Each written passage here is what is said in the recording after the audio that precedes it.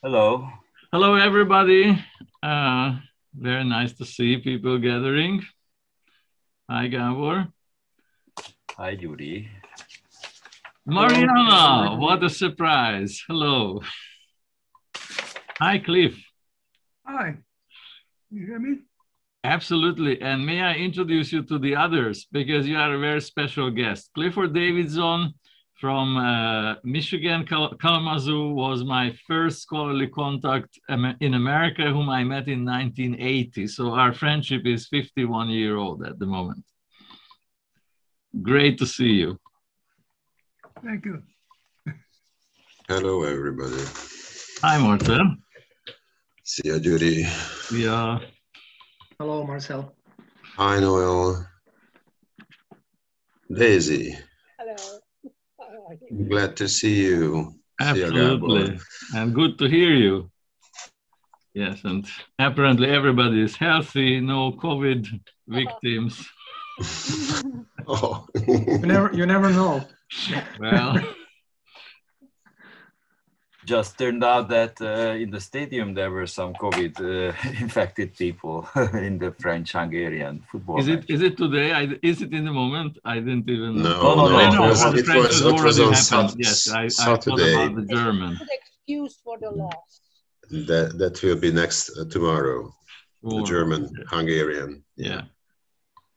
Hello, Csaba Macelka, my dear ex-student. Thank you for the invitation. Well, thank you for coming. Yeah, I think I think we can start.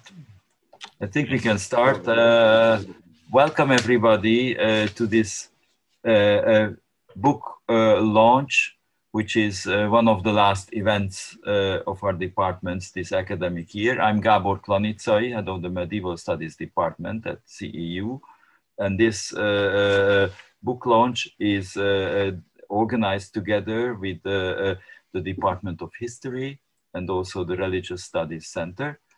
And uh, it is uh, to a very special occasion.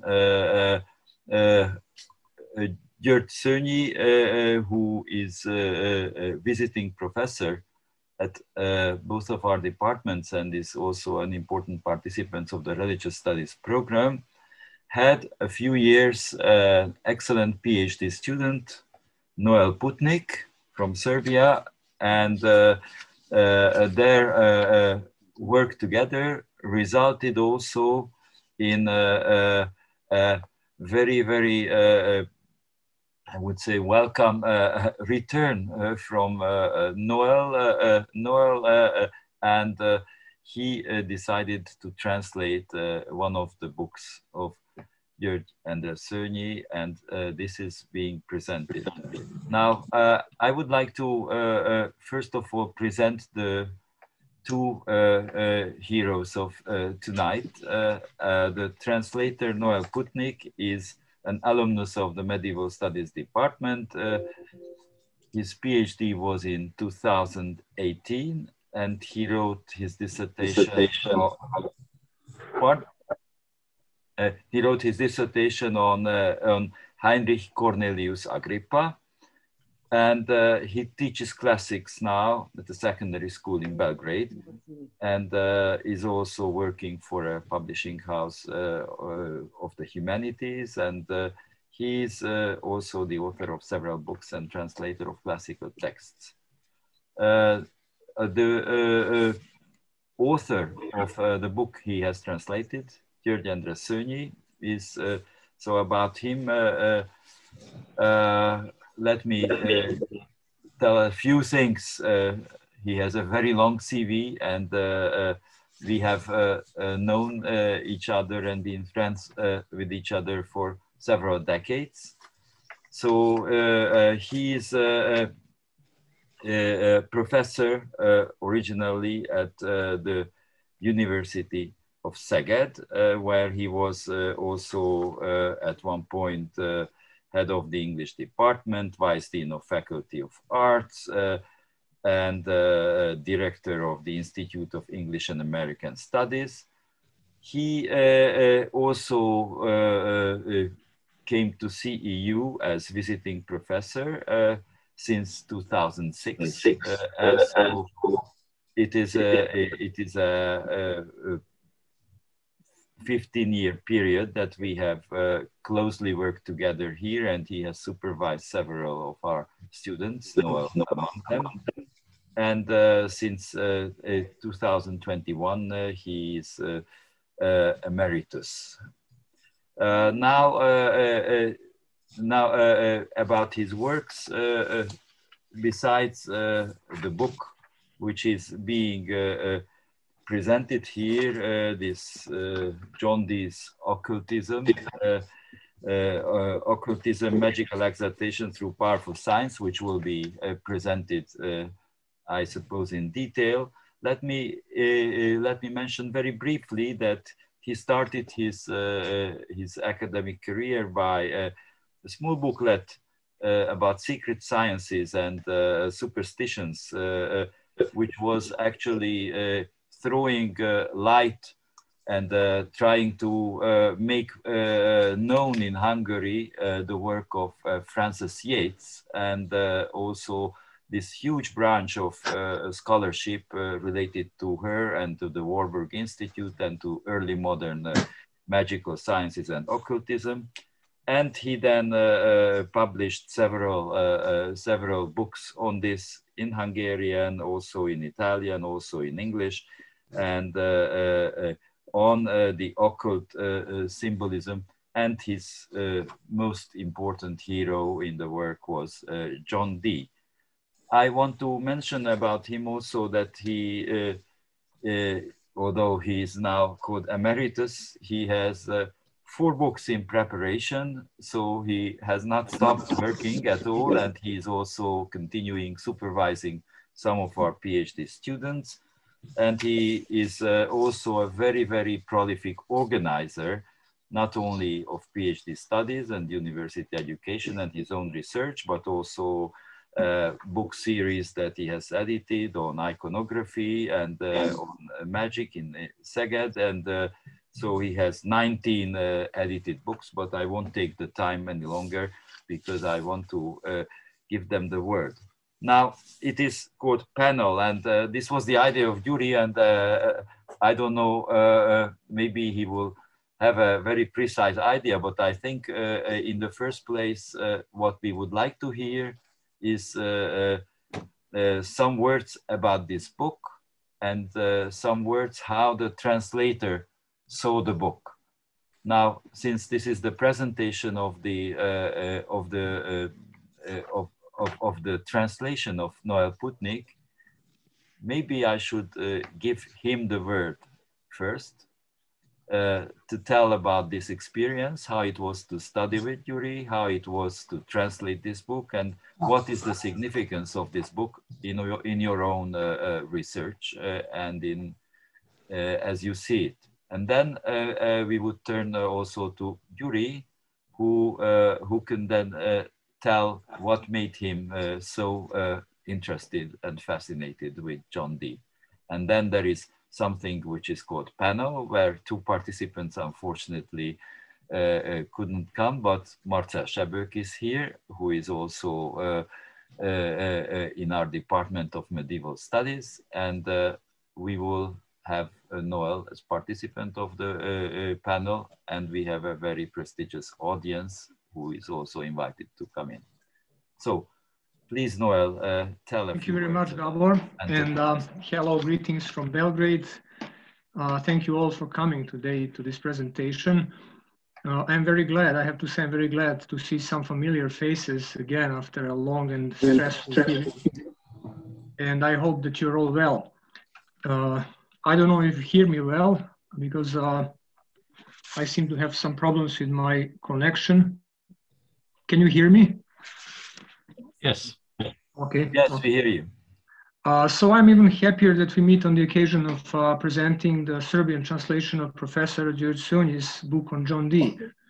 Uh, the book was published in January this year uh, by a prestigious Serbian publishing house, uh, Fedon from Belgrade.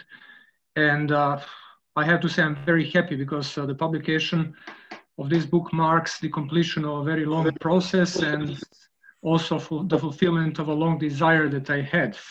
Uh, So I will try in the next 10 to 15 minutes, depending on my efficiency, to uh, explain some reasons why I picked up this particular book and what is the context of the translation, etc.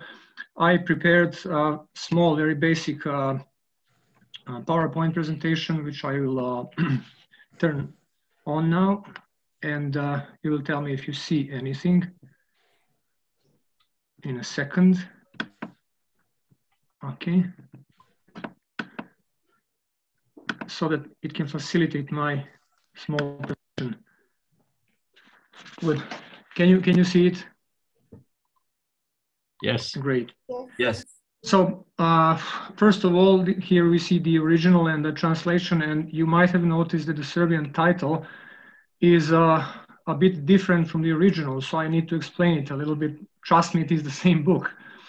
Uh, however, the thing is that the original title, sim title simply didn't sound uh, well enough in Serbian uh, due to the spirit of the language, of its poetics, its modes of expression. So I had to rephrase it a little bit. I hope not too much. Uh, also, I was keen to make the central theme of uh, uh, book, uh, that of exaltation, as clear and as attractive as possible for the not so experienced uh, public in Serbia. Uh, and you can see the subtitle from science to magic, magic, the case of an Elizabethan humanist, which is also different from the, the original subtitle for the same reason. Uh, but let me begin first with a few personal remarks before I move on to a more general consideration of the translation and its context. Uh, one of the main uh, academic uh, interests, areas of my academic interest, as you could see on the presentation uh, poster, is the work of uh, Cornelius Agrippa, famous Renaissance humanist and magician, occultist, but also of other Renaissance humanists who were interested in various forms of religious uh, syncretism and in what we nowadays term esotericism. So when I came to CEU, I was really very, very fortunate to meet Georgi there. First of all, because of the finest academic guidance and support that I received from him. Uh, but Georgi was not only a dedicated uh, supervisor, we also became, fr became friends and colleagues. And our cooperation has continued up to the present day. So in this sense, uh, you can view this, this translation as a continuation of that cooperation, also as uh, my attempt to reciprocate somehow, but also to con contribute to our common cause, about which I will say something later. Uh, another important thing in my uh, relationship with Georgi was the almost perfect matching of our academic interest, which is not so doesn't happen so often in, in with students, I, I, think. I remember when I first uh, read Georgi's book on John Dee, I was amazed to see how close his approach was to what I wanted to achieve in my own book on work on Agrippa. Uh, one of Agrippa's central ideas, that of magical ascension, closely corresponded to what Georgi termed the notion of exaltation in John D. Dee's thought, together with uh, what uh, Georgi terms uh, the, the, perfect ambi ambiguity in his uh, intellectual position. And uh, in many other ways, mm, this intellectual development was very similar to Agrippa's, not to mention that Agrippa influenced him as one of his main sources as Georgi discusses at length in his book. So I realized from the very beginning the importance of Georgi's books for my own, my own work, and it came to me as a natural idea to make that book known to the Serbian academic community, as well as to the general public, of course. Uh, for me, it was also a way to make a more solid ground for my own study in a field that is virtually terra incognita in Serbian scholarship. So there is another aspect to it. Uh, let me mention that a year and a half ago, I published my own book on Cornelius Agrippa in Serbian. This is it. The title is uh, Between Hermes and uh, Christ. It was closely based on my doc doctoral dissertation. So uh, the translation of Georgi's book came as a continuation of my effort to turn the scholarly attention, the attention of the local scholarly community to this neglected field, uh, to somehow fill in that gap. And I think that these two books uh, work together quite well and nicely delineate a scholarly field as such. Uh, in addition, Georgi's book has a huge advantage that it could make it that could make it appealing to a more general public. Uh, the first part of the book is an overview of the main philosophical and esoteric ideas that uh, influenced John Dee from the antiquity through the Middle Ages and the Renaissance up to his own time. Uh, this, this part of the book seemed to me as a perfect introduction to the field for all those who are not familiar with it or not familiar enough. In the manner of a textbook, it gradually moves from Plato, Neoplatonists, and Corpus Hermeticum, to mention just a few instances, uh, through various forms of medieval magic, the influence of the Picatrix, uh, the Jewish and Arabic influences up to the Florentine Neoplatonist Trithemius, Paracelsus, Agrippa, and Dee himself. So it's really like a textbook that is very, very useful for introducing a whole new field in a scholarly way to be more precise, because in uh, uh, you have plenty of pseudo scholarly works, of course, which do not have do not serve the same the same uh, need. Another advantage of Georgi's uh, book is that it deals in much detail with uh, John Dee's activities in East Central Europe, partly also Slavic Europe, which I thought could be even more appealing and interesting to the Serbian readership. Uh, here you can see on the right-hand side a page from uh, original book and that starts the discussion about these activities in East Central Europe. So we can follow his wanderings around Poland, Bohemia, his dealings with the adventurous Count Lasky, uh, his relationship with uh, Rudolf II, with some Hungarian noblemen and humanists, etc. So I thought that this geographical closeness might contribute to the relevance of George's book know, in the eyes of the Serbian audience. Uh, and then moreover, in the methodology section, you can see it on the left-hand side, which is very interesting to me. It was very interesting. Georgi uh, also reflects on his position as a scholar from an ex-communist country, uh, which might have a lot in common with the Serbian experience in the field of humanities. I believe that many middle-aged and older readers would relate to uh, Georgi's own perspective and situation, and in this way they could more appreciate his argument. And also, I thought that it would be really amazing to present a scholar from this part of Europe, from relatively speaking, a small country, who uh, choose a topic that is intellectually speaking of global reach and who produced a significant relevant scholarly output in this field. Uh, so in addition to the main theme, which is of course the most important, these are all advantages, I believe, that could make the book even more appealing in Serbia to the Serbian readers. However, John Dee is already a familiar character among Serbian readers. Uh, they first came to know about him from Gustav Meyrink's novel, The Angel of the West Window, which had a few editions in Serbia, and then also from the translated works of Frances Yates, we have several of them, and some other books as well. I have to say that in my opinion, Agrippa is somewhat better known as he features in the novels of some of the prominent Serbian writers, as well as in The Fiery Angel, a novel by the Russian uh, author Valery Bryusov, which had a consider considerable influence in Serbia. Thus, there is a whole range of esoteric personalities and topics such as the Kabbalah, Theosophy, Gnosticism, appearing in the works of some mainstream Serbian novelists and poets, not only in translated books. This was recently shown by my colleague Nemanja Radulovic in his groundbreaking study, The Undercurrent. Nemanja uh, argumented in a very systematic way the presence of all these esoteric topics uh, in the Serbian literary culture, so to speak, in the Serbian literary uh, space. Uh, so you can find and Agrippa, John Dee, Paracelsus, Trithemius, all of them showing up, you know, surfacing in various uh, novels, poems, etc.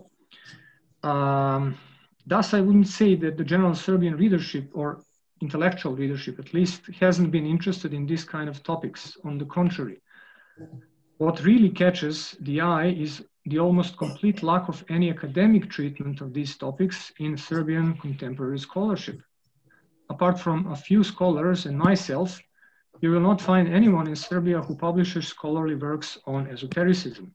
In other words, there is clearly a lacuna in scholarship, which I hope Georgi's book, but my book as well, might fill in to some extent. So uh, speaking of that lacuna, uh, some years ago, in one of the volumes of uh, the Annual of Medieval Studies at CEU, my colleague uh, Nada Zečević gave a very good overview of present-day Serbian scholarship in the field of medieval studies. Uh, her main point was that this scholarship is mostly confined to the history of medieval Serbia and the region, especially the Byzantine Empire. I might add that uh, the scope of Renaissance studies in Serbia as a distinct field is even more limited. And uh, as I said, it is even more true for the academic studies of Western esotericism. Of course, we can find historians of literature, even some prominent ones dealing with Shakespeare, Marlowe, uh, Dante, Boccaccio, all those great names of literature, but you will find no one to deal with those murky characters such as John Dee, Agrippa, Pico, Paracelsus, Trithemius, etc. So in other words, Serbian humanistic scholarship, at least considering historical studies, is still strongly conditioned by its historical limitations, both in terms of its national and regional orientation and its, uh, and its disregard for topics labeled as not serious enough. In this uh, context, I hope that my translation of Georgie's book will attract at least some scholarly attention. Now, there is an academic framework that I consider important for my work in this area. It is a young branch of uh, intellectual history that has come to be known as the academic studies of esotericism. Here in Europe, it is represented by the European Society for the Academic Studies of Esotericism, or ESSWE, which is seated in Amsterdam. Here you can see the main page of uh, their website. It has its annual journal Aries, published by Brill. It holds big biannual conferences in addition to many other activities. It also has a number of topical and regional branches, one of which is the Central and Eastern European Network for the Academic Study of Western Esotericism, which was founded at CEU in 2014. Uh, what you see now is the main page of our website, the website of the uh, Central, I won't repeat it again, and as you can see, it's a pretty nasty abbreviation, not so easy to, to memorize. So this is the regional or the local branch of the ESSWE. And I can say that we already have three biannual conferences and two volumes uh, behind us. Uh, this network was founded on the initiative of György Szőnyi, who served as a longtime member on the ESSWE board. Here you can see the founding meeting, which took place in Budapest seven years ago at CEU. Uh, you can see Georgie in the middle. So he was the mastermind of this uh, whole enterprise. And uh, in short, I see this translation and also my book as fitting into that academic and intellectual milieu, for which, as I let me say it once again, uh, Georgie was instrumental. Really, uh, he was his uh, role was indispensable. Uh, finally, in the end, let me add that this whole enterprise was only made possible by with the support of a dedicated publisher.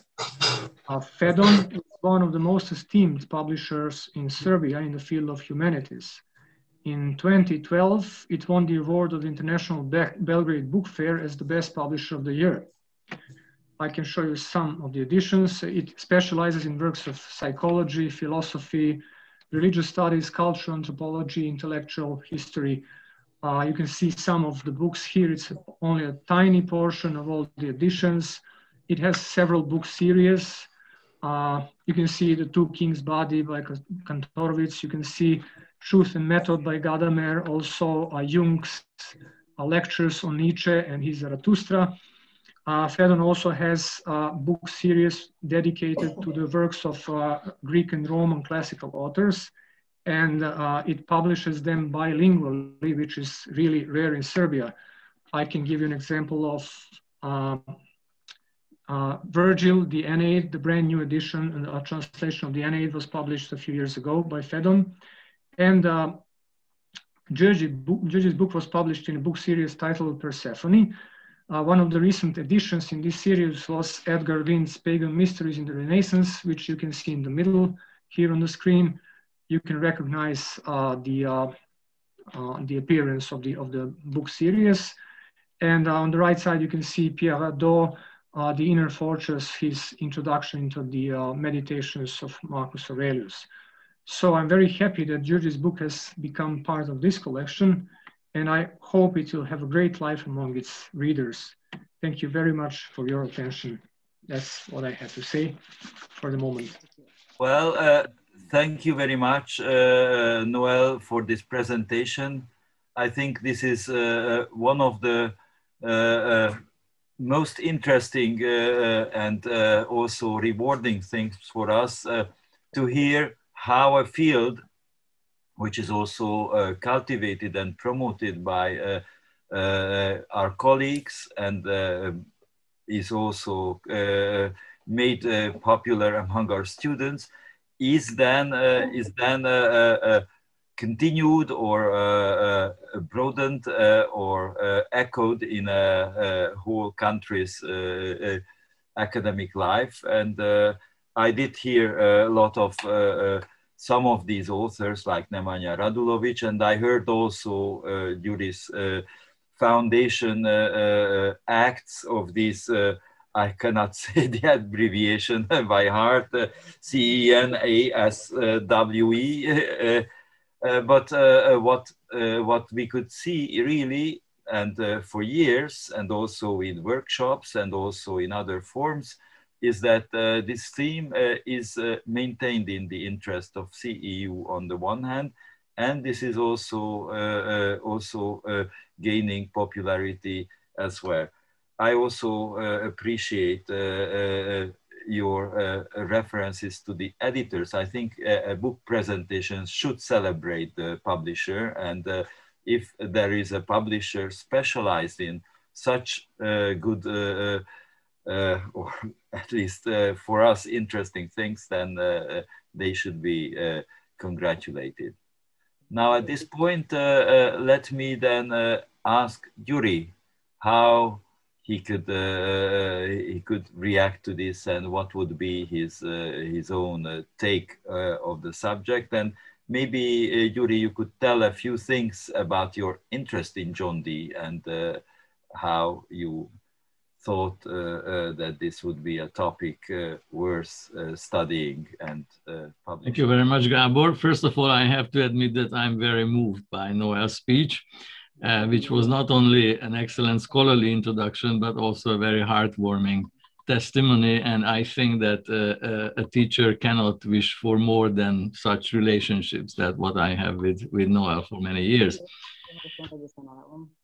I uh, also made a little uh, PowerPoint presentation, and fortunately, partly Gabor's introduction, partly Noel's speech already make make it redundant, but anyway, I'm going to show you this screen on which I, uh, in fact, try to summarize the genesis of the book, uh, in what way I found important to introduce certain methodological and, and, uh, and uh, ideological uh, trends in that book, and finally, a little bit about the structure of the book, which actually was already mentioned by, uh, by Noel. So uh, we have to go back quite a lot in time to the 1970s when I was still a student at the University of Szeged. And my good fortune brought me together with one of the great uh, Hungarian Renaissance scholars, Tibor Klaniczay, who, when I was a third year student, gave me the book of Frances Yates, Yates uh, on uh, Giordano Bruno and the Hermetic tradition. And that reading uh, completely reformed my way of thinking about the Renaissance, in which I was very much interested already at that time, and uh, put me on a track which, uh, in a way, still going on, of course, with several bends and uh, uh and um, uh, forks and whatever. So. Um, what was interesting in the Yatesian approach in the 1970s that it seemed to be a very new approach to Renaissance magic and esotericism in the sense that it uh, counterbalanced or it went contrary to traditional science history. Traditional science history would say that we are not interested in magic, it's a murky, uh, uninteresting thing, and only that is interesting which emerged out of it as rational enlightened whatever science. Uh, this Yatesian approach was built on an intellectual trend called the Warburg School or the Warburgian approach. And in that sense, in the 1970s, I became very much attracted to this Warburgian intellectual history. Uh, it was also very important for me in Hungary and coming from a Hungarian uh, intellectual context, because as you know, at that time, Hungary was still part of the socialist camp. And uh, there was a certain obligatory Marxism and dialectical materialism. And the Warburgian school seemed to be a nice way of diverting from those uh, compulsory ideological trends. And I have to tell at this point that Tibor Klaniczay was very instrumental in keeping Renaissance studies free of uh, ideological constraints. We had Renaissance conferences at that time into which uh, all sorts of scholars, including uh, various priests and clerical figures, were also free to enter. And we had a, a marvelous atmosphere of free discussion and free thinking in that circle. Now, why John Dee? How did I hit up on John Dee? My first uh, university degrees were uh, Hungarian and English literature. And uh, I always uh, thought it important to find such a topic in which I could connect these two fields. So uh, I was very much interested in English culture, and John Dee, as a Renaissance uh, scholar and interesting cultural historical character, was in a way a very interesting choice but it also motivated me that John Dee came to Central Europe, had some Hungarian acquaintances, even briefly visited Hungary at some point. So that seemed to be an excellent uh, kind of combination of topics. And last but not least, in 1981, Frances Yates visited in Hungary for a week, and I was her personal escort. Uh, by the way, I'm very glad to see Tibor Fabinyi in the public now who was also helping in that. And he spent a memorable day with Yates in Visegrad and other places on the excursion. So uh, another interesting feature of these Dee studies is the reconfiguration of the Dee image. I've always been very much interested in historiography, how the same phenomenon attracted uh, scholars later on to certain opinions, and these opinions are changing over time and can be even contrary to each other. So uh, John Dee, not as a John Dee figure was interesting for me, but as a John Dee figure of several centuries and several generations of interpreters. In the 19th century, uh, John Dee was uh, usually um, uh, evaluated as a deluded scholar who started scholarship. Uh, he did interesting things in Renaissance mathematics, geography, scientific language, but then he kind of went mad and uh, got imbued in magic and angel magic, and uh, people didn't really like to talk about this part of John Dee's career, rather um, at, at, least mentioning it as a curiosity, as a strange curios, uh, curiosity. Then came the Warburgian image, and the Warburgian image, including Frances Yates, uh, tried to bridge in one way or another the magical thinking, the, the so-called pre-modern way of thinking with the scientific revolution and the emergence of, of rationalism. Uh, let me mention another name, Paolo Rossi, an Italian scholar who in 1968 published a book on Francis Bacon, and he gave the subtitle to the book, Francis Bacon from Magic to Science. So that seemed to be a kind of opening which in a way tried to legitimize the non-strictly rationalistic scientific efforts of the pre-modern era. And Yates did more or less the same with her Bruno book in 1964, and uh, she wrote a lot about John Dee. And she also uh, introduced an interesting uh, concept, namely that the modern academia and the cooperation of science, uh, scientists can be also connected to the esoteric trend. So she made a kind of grand narrative from the Rosicrucian secret society to the Royal Society of Britain. This uh, idea was very much contested later on, but in, in, at that time, the 1970s, it seemed to be a very revolutionary step forward. Then from the late 1980s came the so-called post-Warburgian revisionism. And I can illustrate this by a few titles. One of the key figures in the reinterpretation of John Dee was Nicholas Clulee, who published the book in 1988 with the title between science and religion. So you can see that it's not from magic to science, but somehow religion is getting on a more or less equal plane and equal prestige with science in the title of this book. Uh, another uh, good book from that time, 1999, uh, Deborah Harkness published a book on the which focused on apocalypticism, and then came my monograph in the series, 2004, in which I, uh, although I didn't give the subtitle, but actually no, I used this phrase in the translation from science to magic. So we are reversing the order, not from magic to science, but from from uh, science to magic. Why is it interesting? It seems to be a very retrograde dead end, you might say.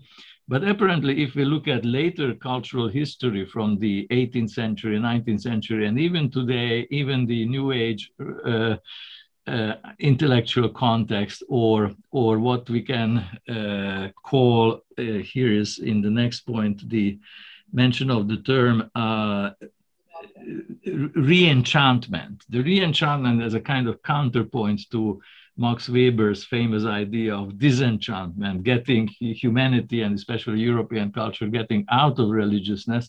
Now uh, it has been proved that it doesn't work. It didn't work that way. And there's an English scholar, Christopher Partridge, who in 2000 books, uh, 2006 uh, published a famous book uh, called the, the Reenchantment of the World and he created the term occulture, occult culture, as a kind of important feature of, of today's culture. So if we want to look for the origins of this occulture, we have to go back to the 16th century, to the Renaissance Magi, and uh, and uh, especially in the 17th century, when this kind of uh, esoteric worldview or Western esotericism turns into a kind of count- counterculture, a competitor and and uh, in a way a victim of rationalism and modern science. So that fascinated me, and I tried to put John in such a context. That's my last uh, slide, and I can do it very quickly.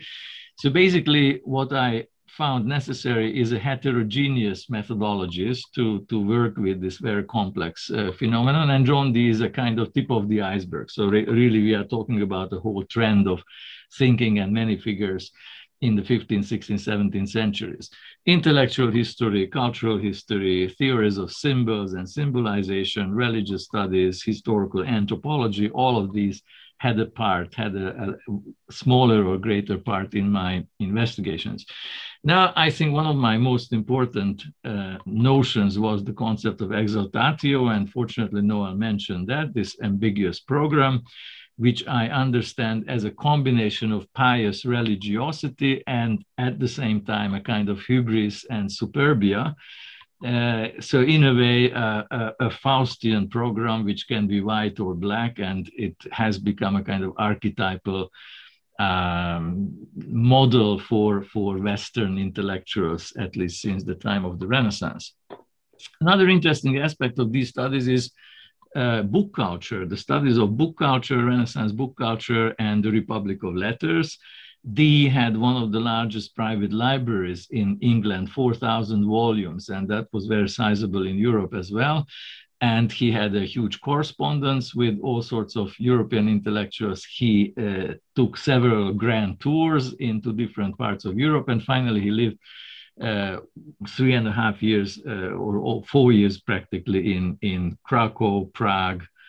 Uh, he came to Bratislava, etc., etc. So the Central European experience. And finally, uh, I have to go back to the question of historiography, the trends of interpretation, competing grand narratives, because as we could see, even from my, my brief summary, that in different periods, uh, in different intellectual atmospheres, the figure of John Dee, the role of Renaissance magic was seen in completely different lights. And to see this, uh, the changing of this light uh, is for me at least very, very interesting and, and a good lesson. Now, the, the structure of the book was relatively simple. In the first part, I gave definition, mostly concentrating on the doctrine of exaltatio. And the next two parts are called input and output. Input meaning John Dee's readings, and I tried to reconstruct John Dee's mind through his readings and the books what we had in his library. And that gave me a good occasion practically to to give that uh, introduction to, to the general trends of, of magic up to the Renaissance. Noel very nicely summarized that actually a few minutes ago. And in the third part of the book, the output considers and concentrates on, on uh, John Dee's works and also on the interpretive community, how he was accepted by his contemporaries and by later generations. And there's a little um, kind of appendix to the book in which I analyze a stanza from Edmund Spenser, the famous English poet uh, of the Faerie Queene, a long epic poem. And there is a very interesting and intriguing mystical stanza in that. And I try to bring it together with, with John Dee's mathematical magic. So that's, that's what I can say now. And of course, I will be very happy to answer questions or humbly receive criticisms. Thank you very much, Gyuri. Uh, we have a, not only a book presentation here, but actually a nice uh, panel already uh, on the topic of uh, uh, John Dee and uh, Renaissance esotericism. We are in the middle of a, a subject and now I think we should open some discussion and this is the point where I should like to ask Marcel Sebők, who is uh, was foreseen to be part of this panel and is here with us. Uh, uh, maybe he can uh, give some reflections to what we heard from uh, Noel and Gyuri, and then uh, we will open some broader discussion on, around these questions. Thank you, Gabor. And first of all, let me uh, just express my uh, gratitude and congratulate to both the translator and the author for this achievement. And I'm very glad that, uh, as, as Noel explained, that uh, the context to which the, the book of Gyuri arrives now, or has already arrived, is a very, very, uh, I think, a very good um, series of titles, and then I think, and then I do hope that there will be a good uh, Rezeptionsgeschichte for this book too, uh, within this new context. Um, since there was no no strict or not no any instruction beforehand that what should I contribute as part of this panel, I I'd like to reflect uh, most uh, mostly what Gyuri emphasized when he introduced the book itself and the structure, and especially that part which is about the book culture and the East Central European intellectual life. And even more, I, I prepared a short text, and uh, which is which is very much related, of course, to the book. And and moreover, I, I just gave a uh, a title to this little contribution which says that, uh, which is a question. Did John Dee and Andreas Dudic ever meet? Uh, I have chosen this because uh, there are many overlaps, and, and then also in Gyuri's book there are certain uh, certain uh, references and, and quotations and uh, and contextualization of, of these two persons. And when I was preparing for this book launch, I, of course, I was pondering among possible topics and approaches too, whether I can offer a comment or a series of comments on something which bears a strong visual aspect, having known Gyuri's scholarly interest, or on some Renaissance and historical topics, or anything like this. Um, but above all, I, I remember that Uh, there is a there is a very characteristic statement in Gyuri's book, and I now quote it. John was a notorious visitor of East Central European courts with a strange mystical chiliastic message based on his conversation with angels. End quote. So I decided to bring a very brief case study here about our shared historical region, East Central Europe, as it was visited and inhabited by many citizens of the Republic of Letters one of the chapters dedicated to this too. Uh, so in the course of remembering, uh, of course, I, I, I, recall the first Hungarian version of the book and then the consequent expanded English one that was mentioned and that was published in 2004 and then in 2010 in a paperback format. I have used this latter version recently when I completed an article Andreas Dudic, a contemporary Hungarian-born politician and erudite humanist with an extremely large network of contacts. Since I also remember that during the grand European tours of Philip Sidney and later of John Dee, they might have met in Dudic's house in Breslau, present-day Wroclaw. So I checked the pages in Gyuri's English book and realized that Dudic referred to, quote, Dominus D. Anglus Mathematicus in a letter to Tadeusz Hayek Hagetius, who was a Prague-based imperial astronomer, whose house Dee spent some days then. In this letter, composed on December 20th, on, uh, on December 20th, 1585, Dudic mentioned Dee with great admiration and asked Hagetius to inquire John Dee whether he could recommend him a resident mathematician to whom he was willing to offer a respectable salary. Dudic also wrote to Francesco Pucci, a Florentine patrician, whom he seems also to have esteemed, and asked him the same, that is, to suggest a mathematician to satisfy his personal educational plans. For many years then, Dudic had desperately tried to find companion of well-prepared mathematicians and astronomers and relied on, his, relied on his various English and other European contacts in his search, because he decided to be a scholar of celestial spheres, to be a trained astronomer. It happened in a period of his life when he had already published an erudite and critical manifesto, a short commentary on the comet of 1577. It, and it was mostly against the superstitious explanations of heavenly phenomenon uh, uh, by using this occasion. His efforts to become a member of the community of astronomers has failed, though he remained a respected member of the Republic of Letters, whose Breslau house and library which was even bigger than that of John Dee, was open for learned travelers like Dee. It seems, and Gyuri's book confirms this assumption, that John Dee had not visited Andreas Dudic during the years he traveled in East Central Europe, though Dudic mentions him in a letter again to Hagetius on July the 3rd, 1587. The Anglis multa audivi. I have heard a lot about the Englishman says Dudic and continues as follows. All of these seem puzzling and little credible to me, since some people are determined that he speaks with the angels, I do not know whom to believe, end quote.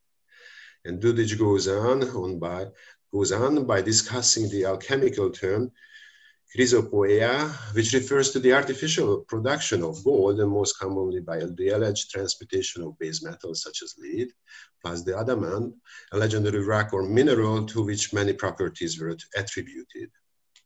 During the spiritual sessions organized by Dee and Edward Kelly, they made use of this holy stone, the adamant, through which they could see angels and communicate with them.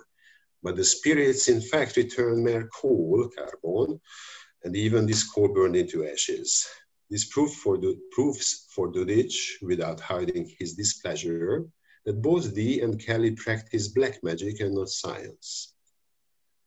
His shift of perception and opinion about Dee seems understandable since at the beginning of the nine, uh, 1580s, Dudic sought knowledgeable experts for improving his mathematical and astronomical capacities. And that is why John Dee was amongst those scholars and Dudic also asked this favor from a number of his correspondents, whom he expected a recommended person. But some years later, he became skeptical and sarcastic about those practitioners in science who had not met the high standards required for a cutting-edge scholarship of the day, the one Dudic never pursued. There could be another reason that fed Dudic's irritation towards John Dee. And I quote again the book of Gyuri, while at home, Dee collected books, organized a private academy, managed geographical expeditions, and had suggested a reform of the calendar. He did little of this sort in Eastern Europe. He did not even practice the occult art in that complex, esoteric humanist form as he had previously at home. His message for Eastern Europe was a mystical, religious lesson, but without the innovative dogmatics of the radical reformers who temporarily camped in Poland or in Hungary, the Socinis, Palaiologos, or Franken. In fact, Dee was abhorred by the vistas of skeptical anti-Trinitarianism, end quote. At that time, Andreas Dudic, who left the Catholic Church for the sake of his liberty and the marriage with a Polish noblewoman, was rather sympathetic with the teachings of anti-Trinitarianism, though he never converted to any of the denominations of the Protestant Church. Besides the two mentions in Gyuri's book, however, there are some more reflections from Dudic on John Dee. Thanks to the recently and finally published critical edition of the full correspondence of Dudic, appeared two years ago, one can explore some more references than two on John Dee, such as the letter by, to Johannes Praetorius, a professor of mathematics at the University of Altdorf, on October 9, 1584. When Dudic informs his friend that, quote, he heard about Dee, the mathematician of London, who was in Krakow, and he also refers here to Albrecht Laski, who sponsored Dee's performance there.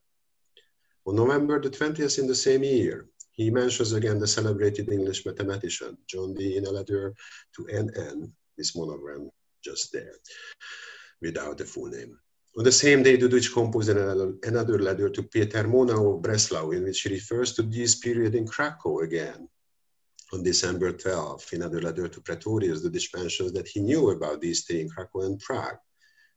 On December 20th and 24th, Dudic letters to Peter Monau expressed a desire to know and see everything about these affairs. On January 14th, 1585, Dudic wrote to Jacques Bongars, a French humanist diplomat, and referred to John Dee again with some esteem.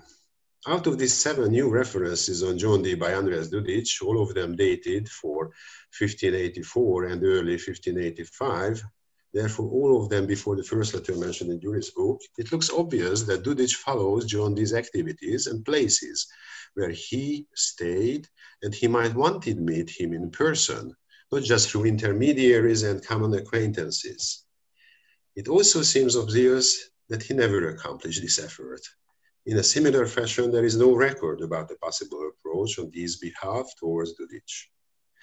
All in all, and this is the answer, what the title suggested, it seems quite apparent that John Dee and Andreas Dudic had never met, though they could have come across many times. So finally, what I can say. Lectori salutam in Serbia now, and at the same time we salute the author and the translator too. Thank you so much. Thank you very much, Marcel, uh, and uh, thank you for this rejoinder. Actually, it shows uh, that uh, once uh, serious uh, activities start around the book, such as a translation and also the opportunity to see the field in connection with this, then other people get inspired. And thank you, Marcel, for this rejoinder and inspiration and this small, small question, which then might also stimulate some other comments. So uh, at this point, I would say that uh, let me open the uh, the floor, and uh, I already see the hand of Danuta Shanzer, uh, who I welcome here, uh, and please take the word. Hi, Gabor. Can everybody hear me? Okay. Yes. This is a I think this is a question question for for Gyuri. I haven't read your book. Please forgive me. But one thing kind of intrigues me. Years ago, when I was young and I was working on Alain de Lille's Anticlaudianus, I, I was dealing with a with a cotton manuscript um, from from the British Library, and I opened it up, and and there it said, um, you know, John Dee, something like 1574, and then it said bought upon a stall in London. So my, my first question, which I think is a literary question, is um, Is there evidence that he was reading that book because of its celestial voyage theme? And then my, my second question concerns um, M.R. James, the, the author of, you know, the famous ghost stories about medievalists. He, he has a, a bunch of characters who are, who are the villains in his, his stories, and they're the people who, who meddle with demons and people who meddle with occult knowledge and stuff. Um, do, do any of those people happen to have anything to do with Dee also, since he compiled the book on his manuscripts? Uh, well, thank you very much for these questions, and thank you very much for joining this session, first of all. Uh, the first question about the cotton uh, book. This is a fascinating publication, pretty big one, and it was terribly expensive, especially when I acquired it. And this is the library catalog of John Dee. And uh, it's a facsimile of the original handwriting, what he compiled, actually compiled several catalogs over the years. And then uh, the scholars who, who published it, Roberts and Watson, very nicely went after the origin of all the books as much as it was possible to figure out. And it turns out that that really John Dee was a fantastic bibliophile. He was buying books everywhere, wherever he went, and he ordered books from abroad. And uh, it's not a direct answer to your question, but one of the, the fascinating aspects of his library was the collection of Paracelsica. He re apparently read German because most of these books are in German edition, not only the Latin editions of, of Paracelsus. And he had something like 24, 25 books of Paracelsus, which, which is uh, absolutely admirable and, and, and amazing, especially if we think of uh, uh, who, who, wrote that famous book, The English Paracelsians. I, I can't remember the scholar now. For sure, Ursula knows it or somebody else. But anyway, so uh, English Par- uh, De- Debus, yes, yes, yes, Debus. Thank you very much. So yes, that, that's that's in itself a fascinating thing. And uh, another thing is that his library did not remain together, so it was scattered. Uh, many of the books have been recovered. Many of them are in the Wellcome Institute Library or other libraries in Britain or here and there. But the catalog is a proof of the whole whole collection, and uh, and that's a fantastic uh, cultural historical uh, relic. Now, if you allow me, I would like to show you three pages from another PowerPoint of mine when I gave a, a talk on Dee. And this shows the various cultural receptions which goes up to today. So Aleister Crowley, who was very much impressed by the Enochian magic, what, what Dee created. Then uh, Derek Jarman made a film, um, Jubilee, and in that John Dee appears as a character. Uh, Peter Ackroyd's uh, famous novel, The House of Dr. Dee there, and one of the, the relatively recent stuff is Damon Albarn, a famous rock musician who wrote a rock opera about John Dee, and it was performed in 1011 in, uh, uh, in London. This is also a, a scene for that. It was pretty fascinating. So sorry, did, did you see what I shared? I thought I was sharing, but I'm not so sure. Oh, uh, not not yet. I can't uh, see. Uh, here it. it is. Okay. Yeah. So okay. Uh, very briefly, I can show it. This is Crowley. This is the Jarman film, Peter Ackroyd, and the rock opera, uh, which is a proof that John Dee is really a cultural hero. Actually, with an English colleague of mine, Rolly Wymer, I wrote a, a, study a couple of years ago when we presented John Dee as a cultural hero, as a literary character, as an inspiration for musicals, dramas, films, etc., etc. So, uh, obviously, he has been inspiring with his life, with his ideas, with his magic, a, a great variety of, of people, not only scientists, but also artists. And uh, well, I don't want to switch back to the PowerPoint again. In the 17th and 18th centuries, there was a broadsheet circulating in England which showed uh, Edward Kelly, who was the scryer of John Dee. Uh, both of them are standing in the cemetery, and uh, a dead uh, person is coming out from the grave. This is a pretty famous uh, drawing. Obviously, nothing like that they did together. It's a legend, but it again shows the kind of hype which was going about John Dee basically from the beginning. Uh, ben Jonson in the uh, play, in the comedy The Alchemist, he has long references about John Dee. naming him actually concretely in that play. Uh, then there were other speculations, interpreters, uh, maybe even Clifford doubled in that to to identify John Dee with Prospero for, for from Shakespeare as the the white magician, etc., etc. So it's it's basically an infinite story. Thank you. Thank you. Other questions or comments?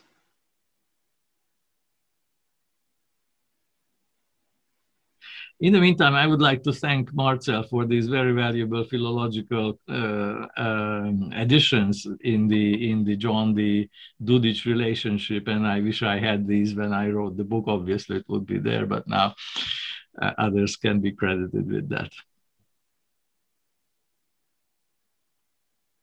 Yes, Urszula Szulakowska. Yes, uh, thank you. Um, I just thought that perhaps we should focus on the issue of signs and symbols and recognize the magical enterprise that traces itself back to the Picatrix and perhaps to Hermes, but mostly to the Picatrix, then onwards through Agrippa and certainly through Dee's Monas and the whole emblematic tradition um, in which this was embedded, because of course this was the time of emblem books, some of which have hidden esoteric meanings, and others are strictly games of linguistics. And that in a sense, um, I'm wondering about this issue of whether what we have here is a kind of de dematerialization of both of magic in the sense that what where something is happening is it's happening within the linguistics, both in terms of visual emblems and their relationship to verbal emblems is still, I don't think, properly understood um, and, and, and requires more research. Um, and it, it's like the practice of magic, certainly you see it in alchemy, becomes more and more something within the pages of a book and something that you do with your mind rather than going out and doing mucky things in graveyards with spirits and ghosts or mucky things in laboratories or rushing out under the under the moon. Though i think Dee, Dee still did a lot of practical astronomy and did actually go outside and do these things. Um, could, could, could you say something about your interest in emblems, Gyuri, because this goes right back to your study of Elizabethan poetry, of Philip Sidney and, and of Shakespeare's emblems, and, and where you think this as a linguistic, as an emblematic development, and how that goes then forward into the 20th, 21st century. Yes, uh, thank you very much, Ursula. I think that this is a very interesting question and uh, leads us to the question of mediality. Mediality of culture and the mediality of magic. And you are absolutely right that there are various uh, aspects of um, medial aspects of, of magic. Uh, and we can trace this throughout John Dee's career. Uh, he uh, dealt with astronomy and mathematics, and the uh, Monas Hieroglyphica is very much based on geometry and uh, this kind of uh, very scientific visualizations. But at the same time, he created a magic, emblematic, symbolic sign with the Monas. Um, there's no time here to explain what is the meaning of the monas, but it's a, it's an absolutely fascinating philosophical visual emblem, I would say. And then with the angel magic, he moves in the direction of language, exactly as you say, and prayers, incantations, and, and this kind of linguistic and non-material aspects will become very important in that magic. But let's not forget about the certain paraphernalia, what he used, the crystal ball, which is visual, the, the great seal, which was necessary for invoking the angel. So again, we have a combination of, or a kind of multimediality uh, of magic. Um, absolutely important to remember John Dee's religiousness. Religion, piety was extremely important for him in combination with science. And if we go back to the first information of the Bible about the origin of humanity, what do we learn? That uh, God created the world by word, let be this and that. So this is a verbal act, but at the same time, he creates humanity in his own image, and we have the image. So word and image are intricately uh, linked together in Christianity as well, which was an important aspect of, of John Dee's thinking. Does it satisfy your interest? Yeah. yeah. Well, it, many many other things could be told about emblematics, but that's what came to my mind first. There is a, question in the chat, uh, Kathy Pickvans. Uh, can you please tell us a little more what brought John Dee to Hungary and about this, his Hungarian connection, assuming that it was ongoing? Yeah, this is also a very interesting story. And uh, Noel already quoted that uh, John Dee had a, a, burning ambition to, to make a career. So he was this kind of ambiguous person that on the one hand, he wanted to get closer to God, to understand God's plans and projects. And that's why he went into the angel magic. But at the same time, he had uh, almost a dozen children, a huge family, and a very costly living. So he tried to earn enough to to maintain his his life and he was looking for patrons. And at some point he felt that uh, the english court didn't satisfy him up to the point he was expecting. And then he met this uh, polish count um, uh, the uh, lord lasky or Łaski in polish who was a very important political figure in poland. And he told them that i will pay you well. I will take care of your family. Come to my country and and um, do alchemy and uh, predictions and whatever is necessary at my court. So this is how they moved to Poland. And uh, in the end, he even got to the court of uh, King Stephen Batory and had two uh, auditions with Batory. But again, he didn't get the proper uh, kind of appreciation what he hoped for. So they decided to move to Prague. And then again, he had auditions with Rudolf II, and the, the Rudolfian court was very accommodating for the kind of characters as, as Dee and his uh, assistant Kelley were. But there are absolutely fascinating things, which, which is with our modern mind, not so easy to understand that John Dee goes to the emperor in a private audition and delivers a huge apocalyptic message to him in which he says that God tells through me to you that if you don't obey, he will step on you and throw you off your throne. Can you believe this situation that an English wandering scholar tells this the emperor in an audition? And then he was surprised that he didn't get the imperial mathematician title he was kind of applying for. So uh, very interesting psyches and personalities are there. So they spent a couple of years in, in Central Europe. From Prague, they moved to a, a country estate of a, a, a Czech magnate, uh, the Rosenbergs in Třeboň or Trebona.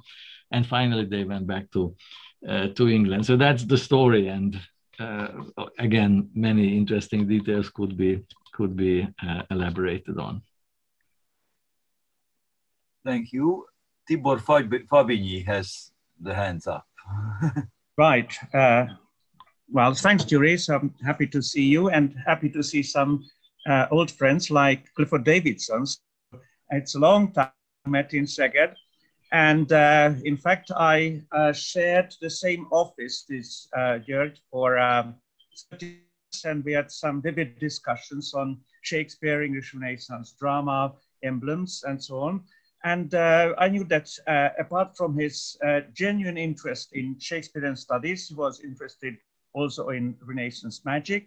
And uh, myself, apart from my interest in Renaissance uh, and, and Shakespeare, I was also in 16th century theology. So unfortunately, we never uh, came to discuss the relationship between uh, Dee's magic and the reception of uh, his magic by contemporary uh, English uh, theologian and how he reflected upon these Protestant theologians. There were several important figures like Perkins and others. I just wonder uh, whether we have some information about that. This is a very complicated issue, and I'm not absolutely at home in the intricacies of that. There's a recent book in which it was argued that John Dee actually was an ordained Catholic priest, and he was kind of switching uh, denomination from Protestantism to Catholic and, and back. And when he was in, in uh, Krakow in this uh, Central European tour, he went to take the communion to Hannibal Rosselli, which was a famous humanist uh, priest in Krakow at that time. So the, the, the situation is really complicated. Um, I understand Dee that he was an interconfessionalist or even supraconfessionalist, in which the the the the, uh, the denominational doctrines were not so important, but what was important for him to establish a mystical link with God, and in that it was not really important um, what denomination he would follow. Now, the reception is very interesting because until the second half of the 17th century, this is not really discussed in contemporaries. Everybody mentions Dee as a famous mathematician. Usually, this is the, the phrase with which they, they refer to him. Uh, contemporaries and and the people in the first half of the 17th century and then in the middle of the 17th century the famous true and faithful relations was published by Meric Casaubon the, the late humanist who uh, published John Dee's Angel Magic Diaries, and he wrote a 40 pages huge folio introduction to that, in which really he quite blackened the character of John Dee, suggesting that he was deluded by the devil, and his angel magic was nothing else but uh, but uh, simply a trick by the devil. And then, for quite a long time, that was the image that the deluded scholar who fell into into some sort of trap uh, of the devil. But interestingly the appreciation as a scholar goes on in the 18th century. Once i collected a huge amount of quotations from the the 18th century what's it called? The 18th century books online or something like this. And several hundreds of john dee references i collected from that period. And uh, and still his reputation as a scholar and as a math mathematician is is pretty important and then in the in the 19th century really comes the sensationalism romanticism and he emerges as a as a mystical romantic figure the demonic whatever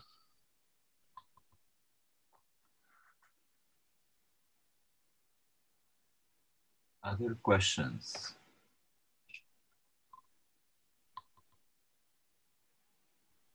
yes yeah. before davidson please yeah. uh, i uh, find this uh, discussion very interesting. It takes me back a long ways. Uh, in fact, even further than my meeting with Gyuri in 1980 at Dublin.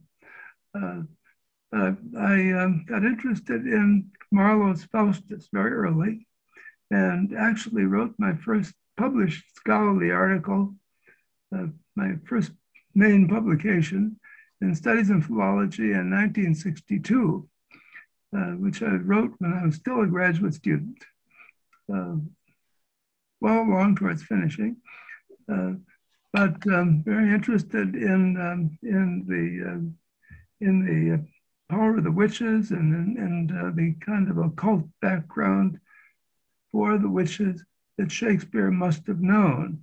Um, going back, I'm sure, to Agrippa through the English regurgitations of, uh, of uh, Agrippa's theories um, along the way. And uh, so, um, so, anyway, with failing memory and all that, uh, I'm still working and uh, still um, work through a lot of things, including vision theory, medieval, uh, medieval times, the connection between touch and vision when you see something, it is as if you are touching it. And I think that is that is I, um, an insight that I think indirectly I gained from Gyuri, along with a lot of other things. So thank you, Gyuri. Thank you very much. And I'm extremely glad you are here with us. Thank you very much. I have a, a question to both of you. Uh, Uh, and but mainly to Noel, uh, who uh, is still uh, giving us the occasion to uh, for this discussion. and at at the beginning, you said very briefly that you changed the subtitles from science to magic on the one hand and doctrine of exaltation on the other hand. And later on, Gyuri also told that actually this book was from science to magic, but it was not in his subtitle anyhow. So uh, why, uh, why did you, uh, uh, so could you give some more reasons for changing that? You probably discussed it with Gyuri and he probably welcomed this change, but maybe it had something to do with your uh, first concentration on Agrippa, De Vanitate, uh, his famous treatise on, or, or any other things. Is that also as relevant to uh, John Dee as to Agrippa? Uh, thank you very much for that question, Gabor. Uh, first, let me let, let let's get back to the uh, original subtitle, and I will show what the problem was uh, for for me as a translator. So it goes uh, magical exaltation through powerful signs. Linguistically, when you take this word sign, I had a problem with it. when you translate it into Serbian, you get something of very um, of a very trivial meaning, if you understand me. So uh, I had two solutions. One was pretty bold, I would say, uh, to use the word symbol. But this I didn't dare do because then I would get into the difference between symbols and signs, which could be very tricky. Uh, and if I left science as that, uh, as it, it, it, says in the subtitle, then it would sound very, it might sound very misleading in Serbian. And also not really not really uh, informative of what uh, the meaning of the subtitle is. So then I thought about the. Uh, uh I have to I have to say that this subtitle as it is in Serbian it was approved by Gyuri. of course, actually it was there was a little conversation. My first suggestion was slightly different. It was between science and magic because uh, you, you mentioned you mentioned Agrippa very rightly, and of course, while translating the work, I even subconsciously uh, compared it to Agrippa's case all the time, of course. But then in, in uh, this case, we have a different paradigm. We have, um, I would say, bouncing to and through between two paradigms. This is why this was my experience, my my uh, uh, I would say, impression when I read and also translated Gyuri's book. Uh, that is why my first uh, suggestion was to uh, frame it as uh, between science and magic. But then after some discussion with Gyuri, um, actually he, he liked, he more liked the idea from, from science to magic and I just, uh, of course, respected that and this is what, what was, how was it in the end. I don't know if this answers your question. Yes. Uh, and how about the doctrine of exaltation, the other changing of the title? Well, it is pretty much straightforward, I would say, because it, it also appears in uh, George's uh, subtitle. And uh, I wanted to have a title that would be strong enough, that would be uh, clear enough about the, the main topic, the main theme of the book. And I thought that uh, by uh, using this word, by picking up this word, I would give a very clear idea of what's what's uh, the main uh, the, the, main how would I say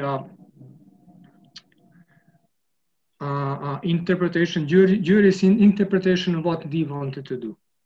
Because mm exaltatio is actually Gyuri's term, not, not this term. Yeah. Uh, and in this sense, I wanted just to, to put it forth, you know, to, uh, to emphasize it more.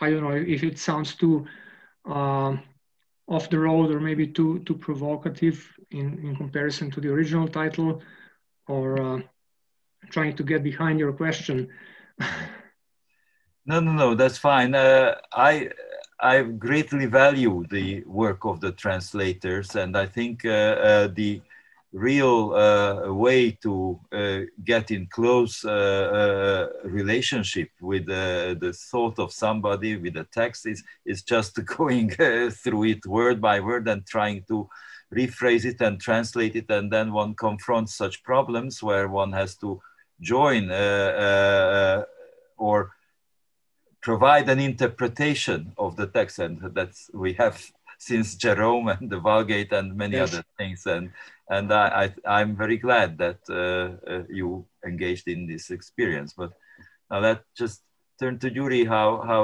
uh, was that uh, work together on uh, the uh, consultation?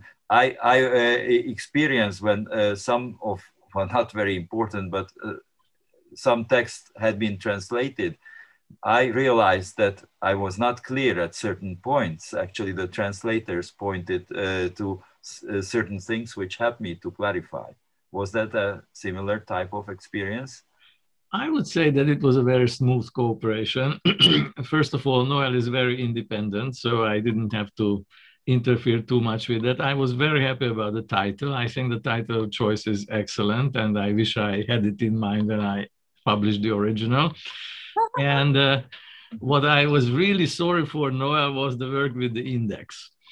Uh, because it's a manual work, and I think that he really uh, sweat blood and tears while he compiled the, the Serbian index for that. I, I did. but he did, yes, yes, yeah to me, the greatest surprise was the form of my name when I saw it in the Serbian transliteration. it was a kind of a culture shock. Actually, you might you might notice, if I may add, you might notice that in Serbia we use both scripts, which might be quite confusing. We use the Latin script and we use the Cyrillic script, and we can use it interchangeably. So I, we, we could have printed this this book uh, in the Cyrillic script as well uh, so it can contribute to, to this kind of confusion. Mm. Uh, yeah. Okay, let me ask uh, uh, once again if there is any further comment. Yes, please, Urszula Szulakowska. Um, coming back, Noel, to what you were saying about the, the lack of interest to date in um, the history of the esoteric tradition, can you hear me okay? Yeah. Um, I was also mindful of when I was in Hungary, when somebody asked me why most scholars come from uh, of the esoteric tradition. This was back in the 90s. Um, came from Germany or came from Britain. And I think one has to ask about the role of the authorized religion in each of these geographical areas, which is that there's no question, although again, this is understudied, that the esoteric tradition as it arose with Dee and Paracelsus and Agrippa is related to the Protestant Reformation. Whereas what you've got in places like Hungary and Poland at that date is the counter Reformation pushing back Protestantism, and also in Hungary, and also, of course, in Serbia, you've got the Orthodox Church.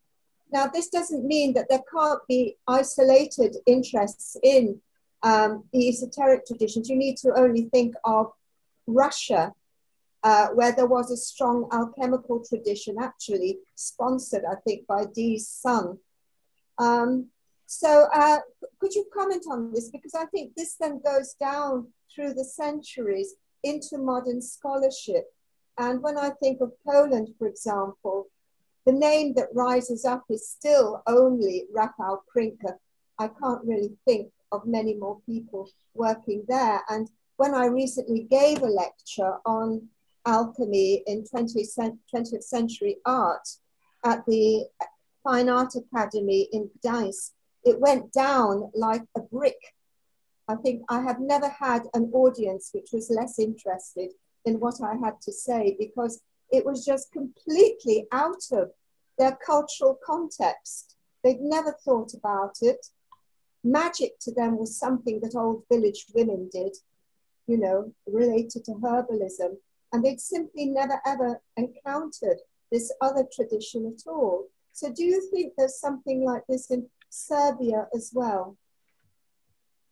Uh, thank you very much for this excellent question because I, have been thinking a lot about it. Uh, first of all, it is clear that uh, this situation is uh, historically conditioned. Uh, Serbia had its Middle Ages, of course, but Serbia didn't have its Renaissance. It was left, left out of it completely. So in this sense, you can understand uh, the, the lack of this kind of interest in the scientific scholarly community. But then on the other hand, there is a very interesting discrepancy if you uh, watch uh, Serbian culture in general, which is, I have to say, you're very right that uh, the Serbian Orthodox Church is one of the most authoritative organizations in Serbia. Uh, nevertheless, uh, Serbia is a very secular country with uh, much of, of its, its culture and society being very secular and even anti-church to some extent. To some extent, so uh, there is a very interesting situation that uh, if you watch culture at large, uh, you will see we, we, were talking about this uh, disenchantment reenchantment pair. Uh, you will see uh, instances of reenchantment very very present in many layers of the society in culture, in counter, counterculture, in uh, literature, etc. So it, it's present there. Uh, you have, uh, I mentioned the Nemanja Radulovic, a colleague of mine from Belgrade, who uh, his book is really a great, great study on this.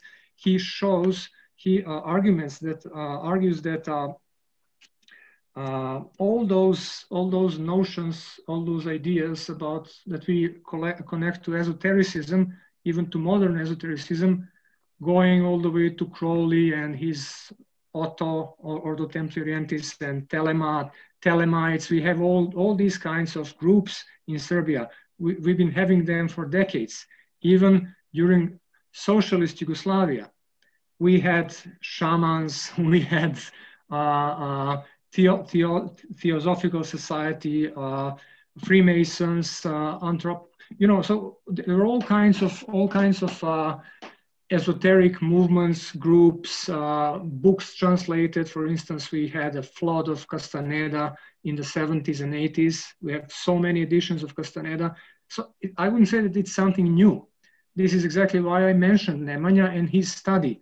Um, he also analyzed some of the um, canonical writers and poet, poets of Serbian uh, literature, and he shows that uh, esoteric and occult uh, themes and motives were present even in the 1950s, 1960s. Uh, we have a famous Serbian um, poet, Vasko Popa, uh, whose uh, poetical world was entirely built on alchemical symbolism. And then when you, when you see all this, then you realize that uh, this kind of, I would say, re-enchantment vector is missing only in the academic community, only there. So it begs the question, why, what's the reason for that? Uh, it, is, it is historically uh, um, conditioned, of course, but it also, I, I wouldn't overestimate the um, influence of the church in this respect. Because as I say, uh, especially the academia is very, very much, very independent from the church, ideologically and financially and in any other way. So this, this remains an open question to me. Thank you very much for pointing it because that's all I can say about it for the moment. Thank you. Uh, Tibor Fabiny wanted to comment this. Well, not uh, that's a different uh, question to Noel, but if uh, George, uh, George wants to I, I just wanted to, to add one sentence to what Noel said, and in a way, uh, contrary to Ursula, I'm sorry to say this, that there is the Senos where this famous little organization, what we refer to several times, and that shows that there are a younger generation of scholars in all of these countries who started uh, uh, uh, researching this. And actually, in Poland, there has been going on a book series in Polish, uh, the kind of archives of uh, Polish esotericism, and they've already published 15 volumes, mostly 19th century and early 20th century stuff. So that means that there is a, a huge scholarly interest in that. That was my little addition. So my question is to Noel. Uh, I know that uh, the Hungarian um, thinker uh, Hamvas, his work, Hom, Hamvas's work uh, is translated, or most of his works are translated into Serbian by Sava Babic.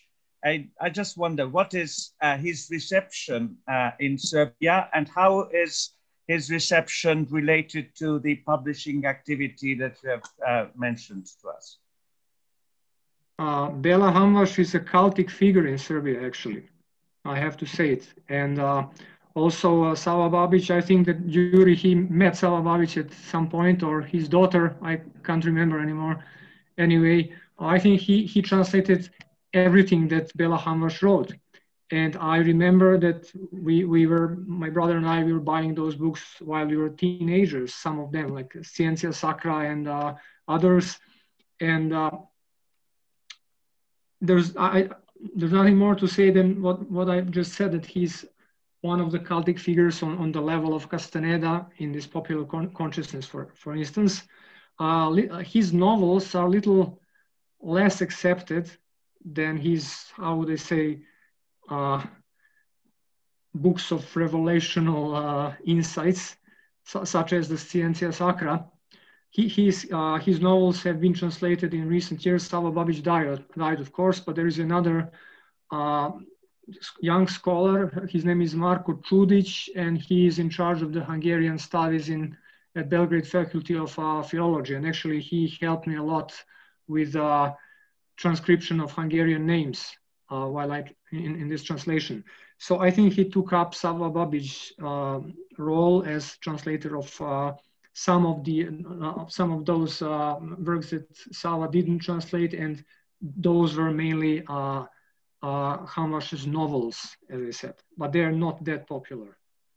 Well, the book has been presented and uh, we are very grateful for this opportunity. And i think uh, the opportunity is uh, mainly due to your uh, uh, diligent work noel of uh, translating but it was somehow presented now as a very beautiful and enviable professor student relationship which is which is getting into a real intellectual and scholarly cooperation. And uh, uh, the idea of uh, Gyuri to uh, have this conversation here on this uh, was an excellent idea, which turned out to be a real workshop on this topic. Thank you also for uh, the participants who contributed to this and who were interested in this. And thank you all. I think that concludes very well presentation. Thank you very much. Thank you very much all for coming today. Thank you very much. It was a very, very kind event. And I guess that both Noel and me are very happy about it. So thank you for coming. Thank you for sharing this with us. Thank you, Gabor, for moderating and everybody else who came. Well, thank you and bye-bye. And bye-bye. I've just learned that Danuta is in the Stephansdom in Vienna. So that fantastic Gothic backdrop was intriguing me all along.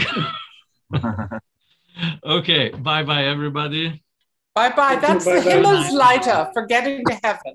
Yeah. okay. Bye bye.